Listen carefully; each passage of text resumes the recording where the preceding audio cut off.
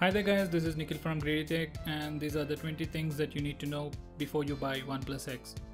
Guys, I'm pretty sure most of you already know most, most of them, but I think you'll find at least 5 things that you might have not known before. So guys, let's get started. In the box you get the phone USB cable, power adapter, a case, yes a case. I have seen companies giving screen guards but a case is the first time for me. And finally a SIM card ejector. I would like to point out that along with the phone, you'll also have a great experience unboxing it. It has one of the best packaging I've seen ever. So going on, it is covered by Corning Gorilla Glass 3 on the front and back and it is scratch resistant so over time you'll definitely find scratches on it so I would definitely suggest you to put on a tampered glass on front and back. On the back we have a non-removable glass panel so you can't change the back panel but you can use the OnePlus One slip-on cases which have different textures.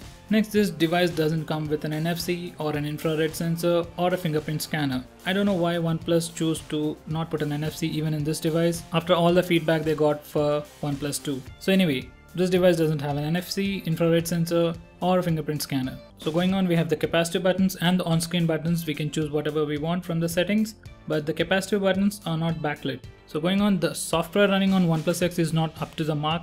There are a few bugs here and there and we hope that OnePlus One fixes them very soon. For example, there is an option to move the apps to the SD card, but when I try to move it, I actually get an error saying that insufficient storage. Next, it doesn't show information about the external SD card in the storage section, and I need to enable an option to access files in my OTG pen drive. So these are some small minor software issues which I hope OnePlus will fix very soon. Next coming to the performance while gaming, there is a slight lag when I'm playing games at high resolution or high graphics so you can check that out in my gaming video. I'll leave a link for that in the description area below this video. Once again it might be a software issue so this might be fixed in the future updates. This device is running the latest version of Android that is 5.1.1 and it will surely get Android 6.0 Marshmallow very soon and by that I mean at least 2 to 3 months for a stable version. Well adding to the point earlier, it is running the same Oxygen UI on top of Android with just few customizations and it will look similar to OnePlus One and OnePlus 2 except it has a dark mode inbuilt in this version. Going on, this device is powered by a 2500 mAh non-replaceable battery. As of now, the battery life isn't really that great. You get around 3 to 4 hours of screen on time, but with few bug fixes and updates, I'm pretty sure you can get it about 4 to 5 hours on heavy usage.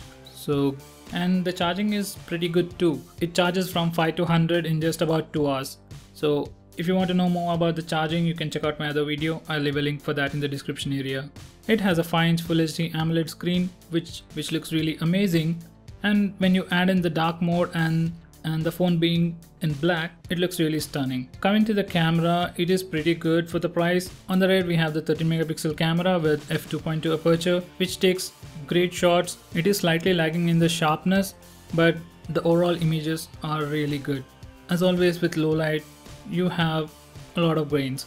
So anyway, on the front we have the 8 megapixel camera which is really great for selfies. It comes with an option to use the phone as a dual SIM phone or use a single SIM with expandable storage.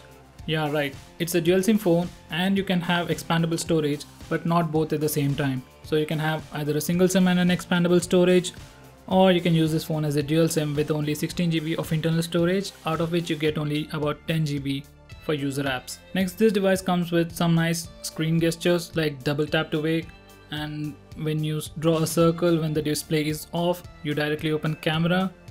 If you draw V it'll turn on the flash.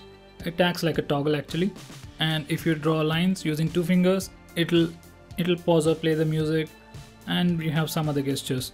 Coming to the performance of this device, under the hood it is having a Snapdragon 801 chipset with 3GB of RAM and it looks very similar to the OnePlus One but actual performance is different from that of OnePlus One. Actually with the smaller screen size I thought OnePlus X would perform better than the OnePlus One. For some reason I thought OnePlus X might perform better than the OnePlus One but the benchmark results show that OnePlus One still performs better than OnePlus X. So for that you can check out my comparison video and going on, this is the second Android device and the only company that's currently giving us iPhone like alert slider on the left side.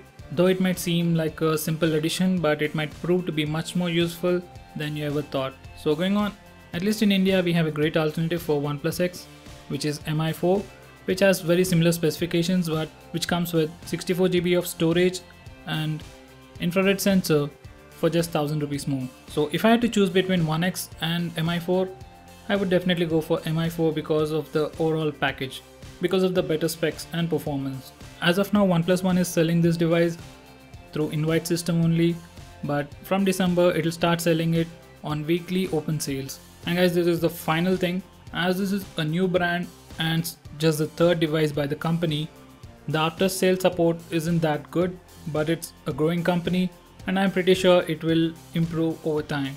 And I'm definitely sure that as it is a growing company, it will take much more better care of the customers than the existing companies like Samsung or HTC. So there you have it guys, 20 things that you need to know before you buy a OnePlus X. So do let me know if I missed anything and correct me if I'm wrong anywhere. If you like this video, give me a thumbs up and share it with your friends and subscribe to my channel to see more videos just like this.